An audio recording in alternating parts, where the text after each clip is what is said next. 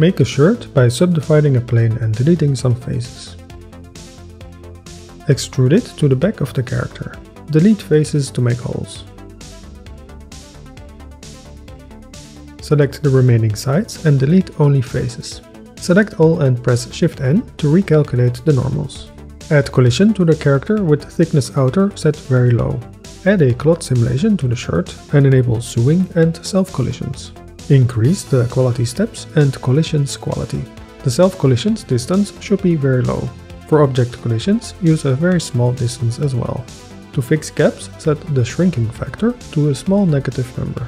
Finally, press the spacebar or bake the cache to run the simulation.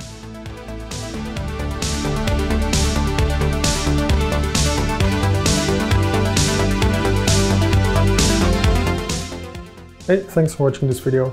If you want to know another way of making clothes, I recommend that you watch this video next. It's about extracting geometry directly from the character, as a way of making clothing.